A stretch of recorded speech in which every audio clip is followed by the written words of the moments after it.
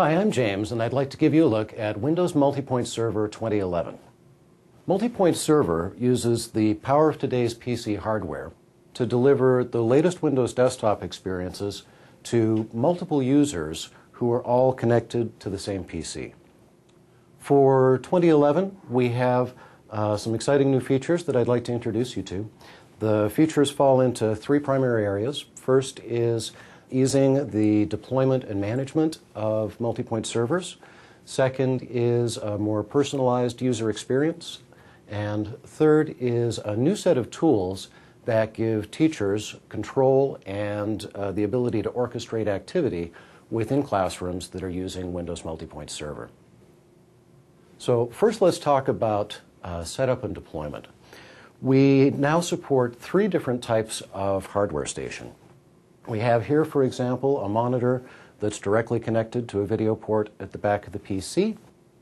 There's a USB 2 hub, which has keyboard and mouse plugged into it. Could have a headset if I wanted one. We have a set of partners who have been producing these multifunction USB devices. New for 2011 is support for network connected clients. So things like this traditional uh, thin client box here is connected to the host uh, via the network and consuming a session. This laptop could be a legacy PC, could be anything with an RDP client, is doing the same thing, connecting over the network, allowing multi-point servers to serve stations over uh, greater distances. All of those now are supported and are able to consume this multi-point server desktop experience.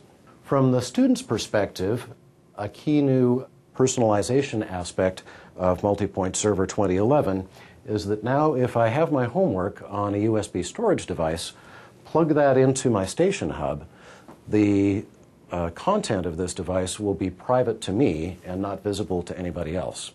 If I do want to share it out with anybody else, I can just plug it into the host PC and everyone can see it.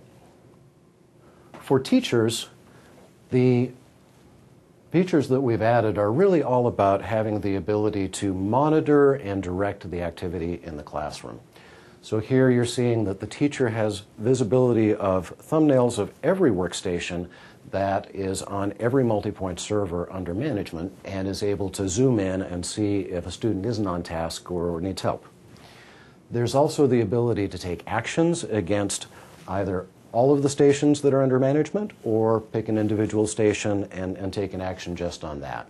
Uh, those actions include blocking all the stations so that all the students will uh, have to focus on the instruction that's being given, uh, the ability to limit access to the web to a certain set of sites that might be particularly relevant uh, with content for a particular class, uh, the ability to launch applications on student workstations, the ability to close down those applications, as well now the ability to project, either taking an example of the teacher's work, projecting that to all the stations and walking the students through an assignment or a task, or to take a particular student station where that person might be doing exemplary work and broadcast that to all of the other students that's just a few of the top level features that we, uh, we have in 2011. If you would like to learn more, please visit this website.